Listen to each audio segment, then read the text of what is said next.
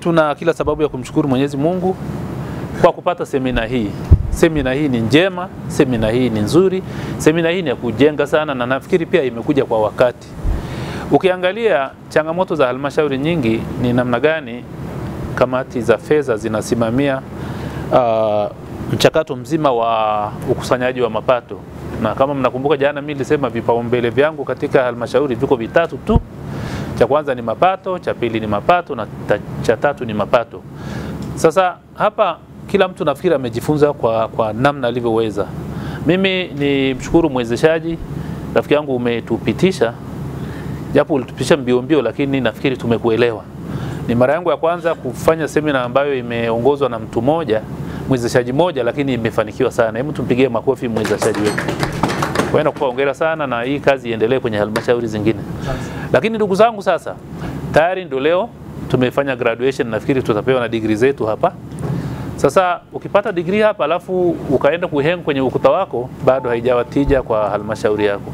Mimi ushauri wangu ni kwamba haya tuliyojifunza twende tukayageuze kuwa matendo kwenye halmashauri zetu kwa kuhakikisha kwamba yanaleta tija kwenye, kwenye, kwenye, kwenye halmashauri zetu. Kama mnavyojua, kamati ya fedha ni roho ya halmashauri. Kamati ya fedha ndio dira, ndio injini ya kuipeleka halmashauri au mbele au nyuma. Sasa rai yangu ni kwamba tuipeleke, tupeleke halmashauri zetu mbele ikiongozwa na wenye viti wa kamati ya fedha ambao ni wenye viti wa halmashauri au mamea, lakini tusaidiane kujenga mahusiano makubwa baina ya wataalamu na viongozi, kwa sababu hii nayo ni changamoto nyingine. Unakuta kuna saa mwenyekiti anakanyaga kulia, mkurugenzi anakanyaga kushoto. Sasa ukuta katibu na mwenyekiti hawaendi sawa, changamoto nayo nyingine inaanzia hapo. Lakini kuna saa wajumbe pia wa kamati hawaelewani na, na, na, na, na mwenyekiti wao au hawaelewani na wataalamu. Mimi ni waombe ndugu zangu, wanasema kiongozi imara ni yule anayeunganisha watu wake, sio kuwagawa watu wake.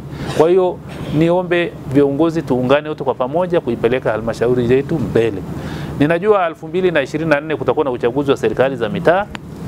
Kwa hiyo uchaguzi ule utafanikiwa tu, maana yake mafanikio ya uchaguzi ule ni pale tutakapotengeneza miradi ya maendeleo ambayo itaenda kutekelezwa kwa weledi mkubwa na ufanisi mkubwa. Ukiangalia wananchi wana changamoto za barabara na barabara ndio mimi nafikiri ndio karibu ndio mimi kwangu mimi ni kipaumbele kingine kikubwa, kwa sababu ndio kila mtu anapita huko jamani.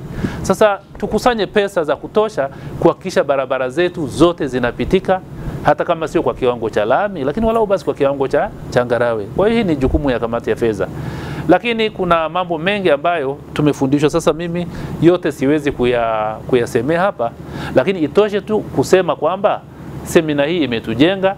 Tukitoka hapa tunatoka tofauti kama tofauti na tulivyokuja mwanzoni. Kwa hiyo naomba tu apply semina hii kuhakikisha inatusaidia kwa pamoja. Tuweni wabunifu wa vyanzo vingine vya mapato, lakini tusisahau pia kuwajengea uwezo wafanyabiashara wetu, kwa sababu wafanyabiashara ndio ng'ombe zetu wa maziwa. Sasa hauwezi kuwa na ng'ombe wa maziwa ambaye huwa hana, hana, hana malisho ya kutosha. Kwa hiyo tusiwasahau wafanyabiashara. Leo tumefundishwa sana na jana namna tu ya kukusanya, lakini sasa kwamba tunatoa wapi hizo pesa ni kitu kingine, na kwa hiyo sasa tujiongeze, tutoke nje ya boksi kuhakikisha kwamba wafanyabiashara nao wanakuwa sehemu ya, ya mchakato huo tuwatambue hata kwa kuwapa certificate ile ile, kama wanavyofanya TRA.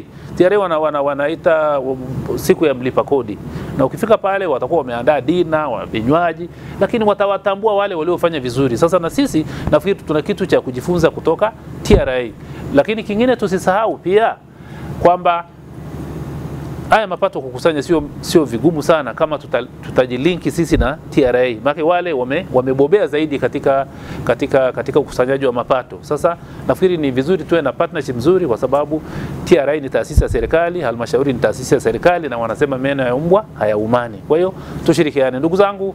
Mimi ni washukuru sana rafiki zangu wa Longido mkiongozwa na mwenyekiti Simon niwakaribisheni jiji. Sasa mmeshafanya semina na, na mtatoka hapa mko vizuri, basi msikimbilie Longido, tumieni hizo hela jiji la Arusha hapa tuna shida nazo. Arusha oye!